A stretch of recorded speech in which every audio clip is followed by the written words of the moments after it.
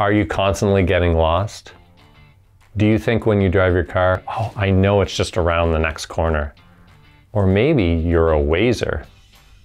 What about when you boat? Should you have a GPS in it? Stick around to find out the pros and cons of GPS units.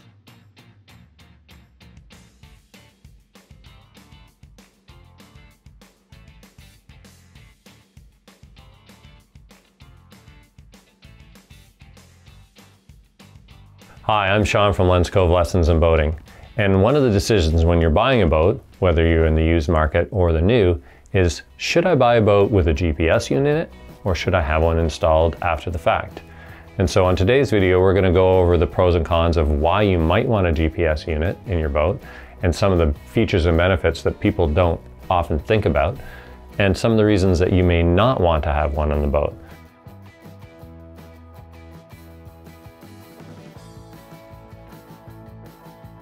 So what we see in the automotive industry is that what used to be a very expensive option with the nav units in cars on only high-end luxury is now coming into almost every car in the market. They almost all have screens or touch screens, and the vast majority of them have integration with GPS or Apple CarPlay, which allows you to stream what's on your phone, Waze, Google Maps, or any other mapping software onto the screen. Right now on your smartphone, you can download an app called Navionics, and there may be other ones as well. And with that, you can have the charts of all the waterways in North America. And it's really, really handy because you can have it at your hands. The problem is, it's at your hands and it really doesn't know where you are on the lake. And what I mean by that is that when it's integrated the maps with a built-in GPS unit in a boat, you also have the data from the sonar. In the past on boats, you would maybe have a separate standalone GPS unit and a separate standalone depth sounder or fish finder, and they didn't talk. So you had mapping and you had depth and sonar data. Now the units are combined and they take the mapping that's either loaded onto them or you upload and the sonar data and overlay them so that you can see what's underneath you while you see where you are. And that's really, really handy from the perspective of keeping your operating costs low, keeping yourself more efficient because you know that you're going in the right direction and don't have to turn around and go back. And also just gives you that peace of mind that you know there's you know what's underneath your, the boat while you're heading to your destination.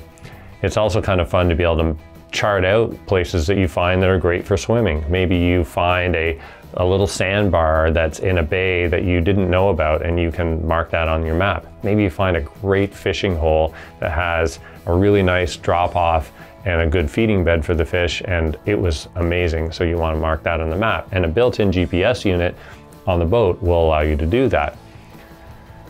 And if you are a fisherman, your GPS unit probably doubles as a great fish finder as well. So it'll show you things that are beneficial like temperature, uh, it'll show you gradient ratings of where the topography of the bottom of the lake changes, and it'll show you the actual fish, so it's very beneficial.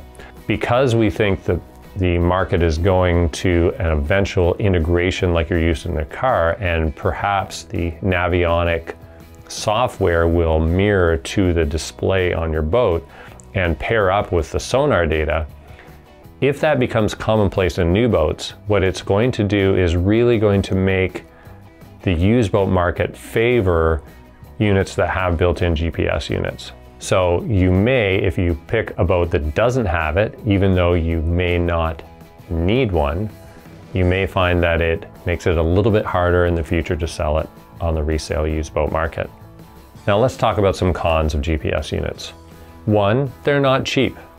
So even though the price has come down relatively, they are getting more and more powerful and as they add more content to them and better charting and better images and better sonar capabilities, the price of them goes up relative to what the less expensive one used to be. So there's a cost.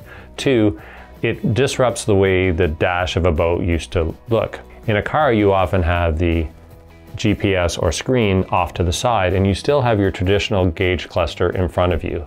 In a boat, almost all the time, the GPS unit is right in the middle of the dash. So if you really like that sports car look of having a speedometer and tachometer and traditional gauges, having the GPS unit in the dash changes the way that looks.